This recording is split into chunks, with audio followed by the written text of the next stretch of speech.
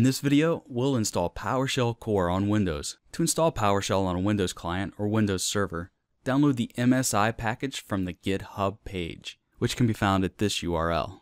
Once we're at the GitHub page, the first thing we want to do is scroll down to the README section.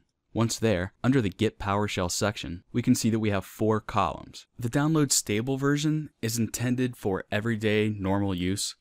The preview version contains new features and potentially new bugs, bug fixes for known issues, engine updates and fixes, general commandlet updates and fixes, code cleanup, but it's still undergoing extensive testing and has a bit of development to go before it will be ready for everyday use. One of the great things about PowerShell Core though is we could actually download and install both because they'll install side by side. So if we want to try out the new features, we'd be able to do that.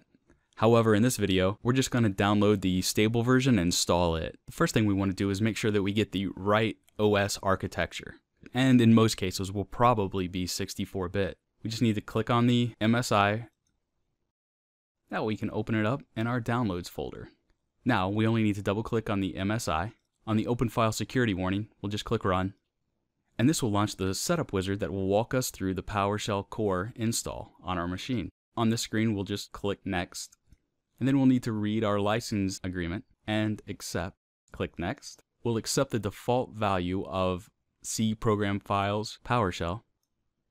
Next, we'll enable PowerShell remoting and the Open Here context menus to explore. Then we'll click Next. And now, PowerShell Core is ready to install. If you get this warning from the UAC, just click Yes, and then it's on its way.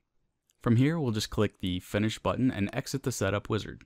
Close out our Downloads folder, and now we'll launch a command prompt. From here, we only need to type pwsh.exe, and this will launch PowerShell Core.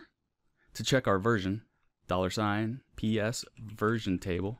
From here, we can see that the version of PowerShell running is 6.1.0, and its edition is Core. We can also use PowerShell Core in VS Code. Just make sure that you have the PowerShell extension installed and enabled. Here you can see that version 5.1 is the PowerShell engine currently being ran by the terminal. We can verify this by doing the PS version table once again. To switch the version that's being currently ran by the terminal, we only need to click down where it says 5.1 at the bottom. From here, a menu will drop down and we see all the versions that are available to us to run in our terminal session. We can see that we got switched to PowerShell Core 6 as one of our available options. And if we click that, It'll restart the terminal, and then from here, we'll once again do our PS version table. And we can see that it's switched to version 6.1, and the addition being Core. Our PowerShell Core install is ready to use, and this has been how to install PowerShell Core on Windows. Thanks for watching.